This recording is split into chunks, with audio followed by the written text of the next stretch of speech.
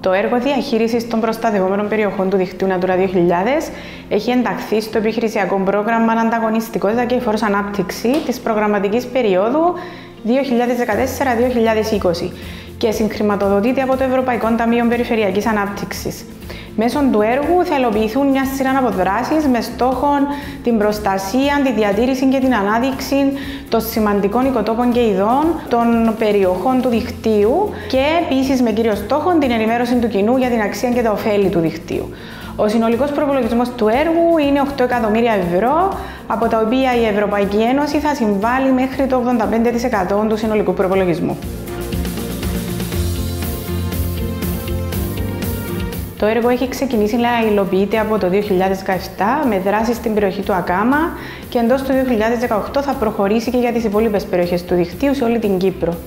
Ήδη για τον Ακάμα έχει γίνει αποκατάσταση οικοτόπων με φυτεύσει σε περιοχές που κρίθηκε αναγκαίο.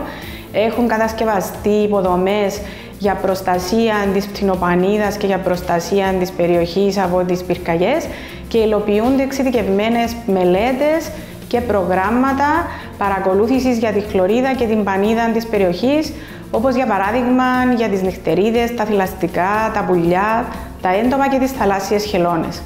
Προχωρούν επίσης δράσεις για καθαρισμό της περιοχής από τα απόβλητα, ανακαίνιση εκδρομικού χώρου στις μυγές και για ετοιμασία ντοκιμαντέρ για την προβολή του ΑΚΑΜΑ. Στην υλοποίηση των δράσεων συμμετέχουν εκτός του τμήματος περιβάλλοντος, ο οποίος είναι και δικαιούχος του έργου, το τμήμα δασών, το τμήμα αλληλείας και θαλάσσιων ερευνών, καθώς επίσης και υπηρεσία θύρας και πανίδας. Οι υπηρεσίες αυτές συμμετέχουν στα θέματα τα οποία αφορούν την αρμοδιότητα τους και συνεργάζονται μεταξύ τους για τις δράσεις τις οποίες υλοποιούν.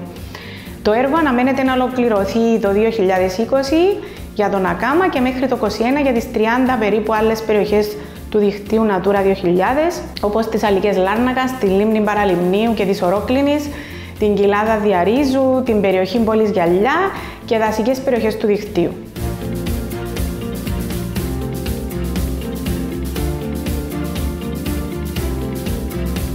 Το έργο αναμένεται να συμβάλλει στη διατήρηση και ενίσχυση της κυπριακής βιοπικιλότητας, δηλαδή των ειδών χλωρίδας και πανίδας και των οικοτόπων τους και να ενισχύσει το καθεστώς προστασίας των περιοχών μας που εντάσσονται στο δίκτυο Natura 2000.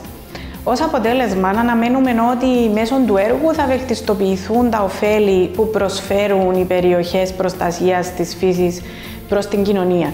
Αυτά τα ωφέλη αναγνωρίζονται ως υπηρεσίες του οικοσυστήματος προς τον άνθρωπο και είναι για παράδειγμα η παροχή καθαρού αέρα και νερού, η επικονίαση των φυτών, η αισθητική τοπίου, η αναψυχή, η πνευματική ευημερία και η εκπαίδευση. Αναμένουμε ότι ο οικολογικός ρόλος που διαδραματίζουν οι περιοχές αυτές θα ενισχυθεί, αλλά ταυτόχρονα θα αναδειχθεί ώστε η κοινωνία να συμμετέχει ενεργά μέσω της καθημερινότητας στην προστασία τους.